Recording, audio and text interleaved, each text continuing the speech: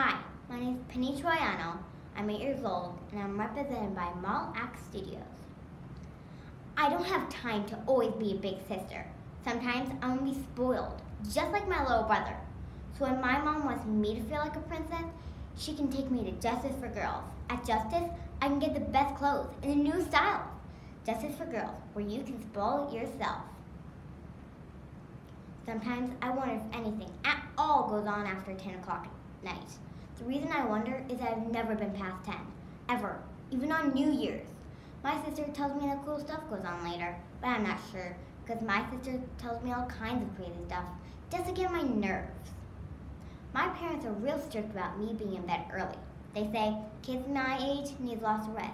Hey, what about older people? I think they're the ones who need rest. My mom and dad are always complaining about being tired, all kinds of energy, and never get tired. If you ask me, they should be the ones in bed early, and I should be up seeing what happens after 10 o'clock at night.